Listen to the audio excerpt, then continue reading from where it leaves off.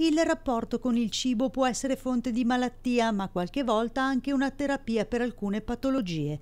Di questo, ma anche di come i disturbi del comportamento alimentare siano tanto noti quanto nascosti, si parlerà al meeting organizzato dalla Società Italiana di Endoscopia Digestiva che si terrà il prossimo weekend a Bologna, aperto ad istituzioni e cittadini. Si parla anche di bulimia, di anoressia, quindi anche il rapporto eh, sbagliato che si può avere col cibo, verrà analizzato in questa occasione da un psicoanalista molto noto, molto famoso, che ci darà la sua visione di questo aspetto e altrettanto verrà visto da, una, uh, da, un punto di vista più teatrale, ma sempre comunque molto profondo, da Alessandro Bergonzoni.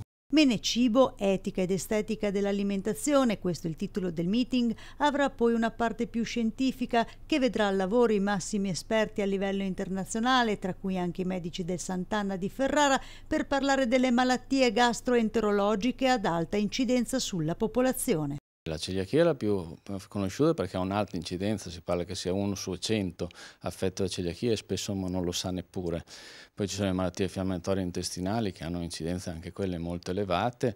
Si va anche il morbo di eh, esofago di Barrett che è una complicanza dell'esofagite che è molto frequente e poi si va a tutta la patologia neoplastica. E lo scopo è appunto di cercare di trovare le migliori terapie e anche il modo più semplice per i pazienti per essere seguiti e avere accesso a queste cure. Qual è il eh, metodo più semplice per avere accesso a queste cure? Beh, ultimamente ci si sta organizzando sempre sull'organizzazione di questi percorsi, quelli che vengono detti PDTA, che sono dei percorsi in cui il paziente viene preso in carico da un team multidisciplinare che comprende più figure e che agevola in qualche modo il percorso per arrivare sia alla miglior diagnosi e soprattutto alla miglior terapia possibile. Si può fare prevenzione? Assolutamente sì, ed è anche uno dei nostri obiettivi, perché ovviamente più arriviamo presto alla diagnosi, più le nostre capacità di cura sono elevate.